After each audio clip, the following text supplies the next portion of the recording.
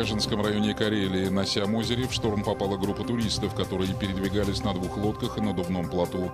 Всего в состав группы входило 49 человек, в основном дети 12 и 15 лет.